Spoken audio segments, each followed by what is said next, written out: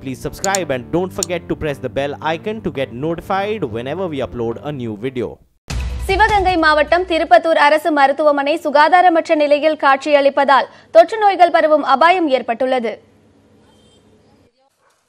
Dengue காய்ச்சலை கட்டுப்படுத்துவதாக சுகாதாரமற்ற நிறுவனங்களை தேடி கண்டுபிடித்து அபராதம் விதித்து வருகின்றனர் அரசு அதிகாரிகள் ஆனால் சிவகங்கை மாவட்டம் திருப்பத்தூர் அரசு மருத்துவமனையில் நோயாளிகளை காண வருபவர்களும் நோயாளியாக செல்லும் நிலை உருவாகியுள்ளது. மருத்துவமனை முன்பு குளம் போல் காட்சியளிக்கும் இந்த தண்ணீரில் கழிவு நீரும் கலந்திருப்பதால் மக்கள் பல்வேறு தொற்று நோய்களுக்கு உள்ளாகியுள்ளனர். ஊருக்கு மட்டும்தான் உபதேசம் உங்களுக்கு நம்ம மாதிரி மக்களுக்கு சாதாரண மக்கள்லாம் நீங்க ஒன்று நீங்க பண்ணா நாங்கள் ஃபைன் போடுவோம். கவர்மெண்ட் ஜிஹெச் இந்த மாதிரி தாசில்தார் அலுவலகத்தில் இந்த மாதிரி இருந்துச்சுன்னா தனி தேங்கினா அவங்க எதுவும் பண்ண மாட்டாங்க அவங்களுக்கு அவங்களாம் மக்கள் வந்து இங்க டெங்கு காய்ச்சல் வந்திருக்கனால இங்க வர்றாங்க. இங்க அவங்கள பார்க்க வர எங்களுக்கு டெங்கு காய்ச்சலோட நாங்கள் வீட்டுக்கு போறாப்புல இருக்கு. காய்ச்சல் ஏற்பட்டால் அரசு மருத்துவமனையை அணுக வேண்டுமென அறிவுரை கூறும் சுகாதாரத்துறை அதிகாரிகள் நோயை குணப்படுத்தும் அரசு மருத்துவமனைகளின் சுகாதாரத்தை கண்டுகொள்வதில்லை. டெங்கு காய்ச்சல் பரவுதுன்னு சொல்லி பக்கத்தில் வந்து கலெக்டர் எல்லாரும் வந்து எல்லா இடத்துலையும் ஆய்வு பண்ணுறாங்க மற்ற இடத்துலலாம் ஆய்வு பண்ணுறாங்க இது வந்து நோயை தடுக்கிற மருத்துவமனை. இங்கே யாருமே வந்து எதுவும் பண்ணல. கடந்த காலங்களில் திருப்பத்தூர் அரசு மருத்துவமனைக்கு சிகிச்சை பெறுவதற்காக தினம்தோறும் முன்னூறுக்கும் மேற்பட்டோர் வந்து சென்றனர். ஆனால் தற்போது நோய் பரப்பும் இடமாக மருத்துவமனை மாறியுள்ளதால் இந்த எண்ணிக்கை குறைந்து தனியார் மருத்துவமனைகளை நாடிச் செல்லும் நிலை உருவாகியுள்ளது. ஈரோடு மாவட்டம் கொடுமணல் அருகே நொய்யல் ஆற்றின் குறுக்கே பாலம் இல்லாததால் பொதுமக்கள் பரிசலில் ஆபத்தான முறையில் ஆற்றை கடந்து வருகின்றனர். கொடுமணல் அருகே உள்ள வெங்கலப்பாளையம் சுற்றுவட்டார பகுதிகளிலிருந்து காங்கேயம் உள்ளிட்ட பகுதிகளுக்கு செல்ல சாலை வழியாக பதினைந்து கிலோமீட்டர் சுற்றி செல்ல வேண்டும். இதற்கு மாற்றாக வெங்கலப்பாளையத்தில் உள்ள ஆற்றில் பரிசல் மூலம் பொதுமக்கள் கடந்து வருகின்றனர். பள்ளி செல்லும் குழந்தைகளும் இந்த ஆபத்தான பயணத்தையே மேற்கொள்ள வேண்டிய நிலை உள்ளது. அதிக வெள்ளம் பாயும் நேரங்களில் இந்த பயணம் ஆபத்தை விளைவிக்கும் என பொதுமக்கள் அச்சம் தெரிவித்துள்ளனர். ஆற்றின் குறுக்கே உயர் உயர்மட்ட பாலம் அமைக்கவும் கோரிக்கை விடுத்துள்ளனர். நான் வந்து ஆற்றுக்கு அந்த சைடு இருக்கிறேன். ஆற்று தாண்டி தான் இந்த சைடு பள்ளிக்கூடம் போகணும். ஆற்றுல தண்ணி வந்துச்சுன்னா பதினஞ்சு கிலோமீட்டர் சுற்றி தான் ஸ்கூலுக்கு போகணும். யுனெஸ்கோ நிறுவனத்தால் உலக பாரம்பரிய சின்னமாக அறிவிக்கப்பட்ட தாராசுரம் ஐராதீஸ்வரர் கோவில் சுற்றுப்பிரகார பகுதிகளில் மழை காரணமாக ஒரு அடி உயரத்திற்கு தண்ணீர் தேங்கியுள்ளது. ஆயிரம் ஆண்டுகள் பழமையான ஐராவதீஸ்வரரில் இரண்டாம் ராஜராஜ சோழனால் கட்டப்பட்டது. சிறந்த கட்டமைப்பு மற்றும் கலை நயமிக்க சிற்பங்கள் காரணமாக இந்த கோவில் யுனெஸ்கோ அமைப்பில் பாரம்பரிய சின்னமாக அறிவிக்கப்பட்டது.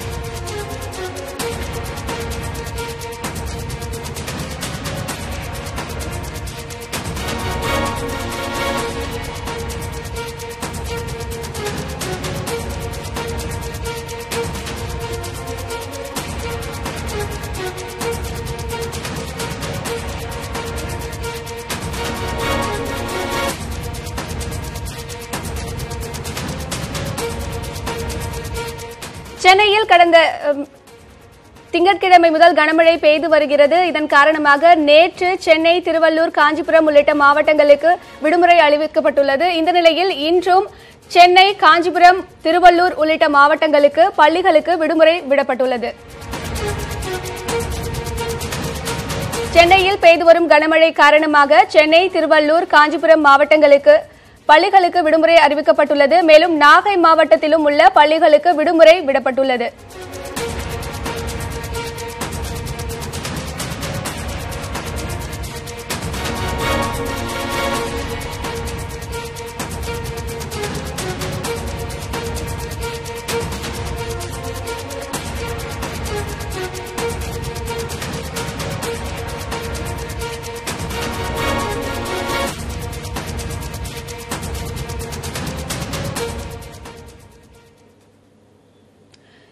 நிறுவனத்தால் உலக பாரம்பரிய சின்னமாக அறிவிக்கப்பட்ட தாராசுரம் ஐராதீஸ்வரர் கோவில் சுற்று பிரகார பகுதிகளில் மழை காரணமாக ஒரு அடி உயரத்திற்கு தண்ணீர் தேங்கியுள்ளது. ஆயிரம் ஆண்டுகள் பழமையான ஐராதீஸ்வரரில் இரண்டாம் ராஜராஜ சோழனால் கட்டப்பட்டது சிறந்த கட்டமைப்பு மற்றும் கலைநயமிக்க சிற்பங்கள் காரணமாக இந்த கோவில் யுனெஸ்கோ அமைப்பால் பாரம்பரிய சின்னமாக அறிவிக்கப்பட்டது. இதனை சிறப்புகள் வாய்ந்த இந்த கோவிலில் வடிகால் வசதிகள் பராமரிக்கப்படாததால் ஒரு நாள் மழைக்கே தாங்காமல் பிரகாரங்களில் ஒரு அடி உயரத்திற்கு தண்ணீர் தேங்கியுள்ளது. கோவிலை விடவும் தாராசுரம் பகுதி உயரமாகிவிட்டதால் மோட்டார் பம்புகள் மூலமே தண்ணீரை வெளியேற்ற முடிகிறது.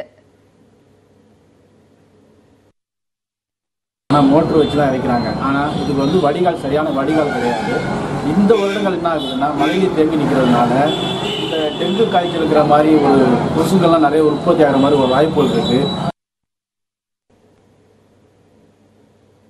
ராமநாதபுரம் மாவட்டம் அழகன் குளத்தில் நடைபெற்ற அகழ்வாய்வுகளில் கிடைத்த தொல்பொருட்களின் காட்சிகள் படுத்தப்பட்டுள்ளன. தென்பொருட்களை பாதுகாக்க அருங்காட்சியகம் ஏற்படுத்தப்படும் என அமைச்சர் க. பாண்டியராஜன் தெரிவித்துள்ளார். வைகை ஆறு கடலில் கலக்கும் கரையோர கிராமமான ராமநாதபுரம் மாவட்டம் அழகன் குளத்தில் நதிக்கரை நாகரிகம் குறித்து எட்டு முறை அகழாய்வுகள் நடைபெற்று முடிந்துள்ளன. கடந்த செப்டம்பர் முப்பதாம் தேதியுடன் நிறைவடைந்த கடைசி அகழாய்வுடன் பன்னிரண்டாயிரத்திற்கும் மேற்பட்ட பொருட்கள் கண்டெடுக்கப்பட்டுள்ளன. சீனா கிரேக்கம் ரோமானியர்களுடன் தமிழர்கள் வாணிபத்தில் ஈடுபட்டதற்கான சான்றுகளும் இரண்டாயிரத்து முன்னூறு ஆண்டுகளுக்கு முன்னரே தமிழர்கள் அணிகலன்கள் செய்வதில் சிறந்து விளங்கியதற்கான சான்றுகளும் கிடைத்துள்ளன. காட்சியகப்படுத்தப்பட்ட தொன்பொருட்களை பார்வையிட்ட அமைச்சர் க. பாண்டியராஜன் இருபத்தோரு கோடி ரூபாய் செலவில் அருங்காட்சியகம் அமைத்து தொல்பொருட்களை ஆவணப்படுத்துவதற்கான நடவடிக்கைகள் மேற்கொள்ளப்படவுள்ளதாக கூறினார். அடுத்த மாதம் அந்த அரியலூர் திறக்க போகிறோம் டைனோசர் முட்டை வடிவில் வந்து அந்த இடத்துல ஒரு அழகான ஒரு அருங்காட்சியகம் உருவாகி உருவாக்கி வந்துட்டு இருக்கு இது எல்லாமே வந்து கல்விக்கூடங்களாக நம்ம அருங்காட்சியகம் என்பது ஒரு பக்கம் வரலாற்று லேப்ஸாக இருக்க போது இன்னொரு பக்கம் நல்ல கல்விக்கூடங்களாக இருக்க போது இன்னொரு பக்கம் நம்ம தொன்மையை பறைசாற்றும் ஒரு அழகான கலைக்கூடமாக இருக்க போகுது. அரியலூர் மாவட்டத்தில் பாயும் மருதையாற்று தண்ணீர் வீணாக கடலில் கலப்பதை தடுக்கும் வகையில் தடுப்பணை கட்ட வேண்டும் என பொதுமக்கள் கோரிக்கை விடுத்துள்ளனர். மருதையாறு பெரம்பலூர் மாவட்டத்தில் உற்பத்தியானாலும் பெரும்பாலும் அரியலூர் மாவட்டத்திலேயே இருபது கிலோமீட்டர் தூரம் பயணிக்கிறது.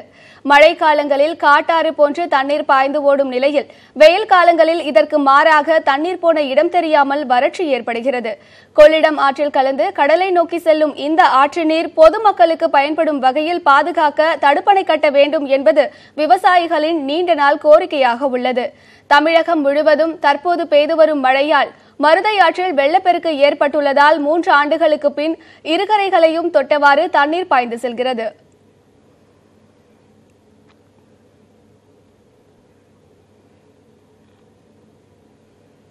ஆசியாவிலேயே இரண்டாவது பெரிய காய்கறி சந்தை சென்னை கோயம்பேடு காய்கறி சந்தை. ஆனால் சிறு மழையை கூட தாக்குப்பிடிக்க முடியாத உள்கட்டமைப்பு குறைபாடுகள் மற்றும் அங்குள்ள சுகாதாரமற்ற சூழல் குறித்து விளக்குகிறது இந்த செய்தி தொகுப்பு. கோயம்பேடு காய்கறி சந்தை ஒரு இரண்டு மணி நேர மழையை கூட சமாளிக்க தகுதியற்று இருப்பதை திங்கட்கிழமை பெய்த மழை நமக்கு உணர்த்தியுள்ளது. வெள்ளக்காடாக மாறிவிட்ட கோயம்பேடு சந்தையில் வியாபாரிகளும் சுமை தூக்கும் தொழிலாளர்களும் பல்வேறு இன்னல்களை சந்தித்து வருகின்றனர். பள்ளம் மேடு எதுவும் தெரிலங்க சார். நடந்து வரும்போது அப்படியே கீழே சறுக்கிட்டு கீழே விழுந்து முட்டிலாம் தேய்ச்சிடுச்சு சார். அப்படியே நடக்க முடியல சார். அது என்ன கொஞ்சம் சரி பாருங்க சார். ரொம்ப கால்லாம் வலி சார். நைட்லாம் தூக்கமும் இல்லை. வலி ஒன்று சார். ஹாஸ்பிட்டலில் போயிட்டு ஒரு மருந்து கொடுத்தான் சார். போட்டு தடவி இருக்கேன் சார். எதுவுமே பொதுவாக சரியில்லை. மேடம் நாங்கள் இப்படியே நாங்கள் ஓட்டுறோம் காலத்தை. நம்ம இன்றைக்கி போய் இப்போ நல்லா இருப்போம் பத்து ரெண்டு நாளைக்கு நல்லா இருப்போம் மூணு நாள் உடம்பு முடியல. நான் ஊருக்கு போயிடுவேன். அவ்வளோதான் எவ்வளோ பேர் திடீர்னு பார்த்தா மலையில் அவன் அவசரத்துக்கு ஓடுறான் பாசை தூக்கிட்டு. திடீர்னு அடிபட்டு செத்து போயிடுறான். கவர்மெண்ட் பார்க்க தான் இல்லை. கேட்டால் உடம்பு சரியில்லை அவன் அடிபட்டப்போ அவன் வாய்க்கால காலை விட்டு செத்து போயிட்டான். முடிஞ்சு போச்சு. கழிவுகளை அகற்றாதது மற்றும் சுகாதாரத்தை பேணாத காரணத்தினால் அடிக்கடி நோய் தாக்குதலுக்கு உள்ளாவதாக கூறுகின்றனர். இங்கு பணிபுரியும் தொழிலாளர்கள். இப்போ தண்ணி ஃபுல்லாகுது நீங்களா பாருங்க தண்ணி தேங்குது இங்கே. ரொம்ப கஷ்டமாகுது. ஈஸ்தலும் குஸ்தலும் ரொம்ப அதிகமாகுது இங்கே. அது நீங்கள் சரி பண்ணணும். டெங்கு தான் வருது டெங்கு வருது. டெங்கு தான் அதிகமாகுது. நான் கஷ்டப்படுறோம். முறையாக பராமரிக்காத மின்சார கேபிள்களால் எப்போது வேண்டுமானாலும் விபத்து ஏற்படும் என்ற அச்சம் அங்கு பணிபுரிபவர்களுக்கு உள்ளது. கரண்ட் ஷேக் அடிக்க எப்போ அடிக்கணுமே தெரியாது. இந்த ஒரு கால் அடி தான் இருக்குது ஒரு அரை அடி கூட இல்லை. அந்த ஈபி பில்லு கரண்டே தண்ணியிலே கிடக்கு. அதெல்லாம் எப்படி சரி பண்ணதுன்னு எனக்கு தெரியல. பராமரிப்பிற்கென கட்டணம் வசூலிக்கப்பட்டாலும் அந்த பணம் முறையாக செலவு செய்யப்படுவதில்லை என்ற குற்றச்சாட்டு முன்வைக்கப்படுகிறது. சிஎம்டிஏ வந்து ஒரு கடைக்கு வந்து சின்ன ஒரு முந்நூறு ஸ்கொயர் ஃபீட்டுக்கு இரநூறுவா வசூல் பண்ணுறாங்க ஒரு முந்நூறு ஸ்கொயர் ஃபீட்டுக்கு ஆறுரூவா வசூல் பண்ணுறாங்க ஆயிரம் ஸ்கொயர் ஃபீட்டுக்கு ஆயிரம் வசூல் பண்ணுறாங்க அந்த காசை வந்து மக்களுக்கு வந்து சரியான சேவை செய்கிறது கிடையாது. இந்த குற்றச்சாட்டிற்கு பெருநகர வளர்ச்சி குழும அதிகாரிகள் அனைத்து பணிகளும் முழுவீச்சில் நடைபெற்று வருவதாக தெரிவித்துள்ளனர்.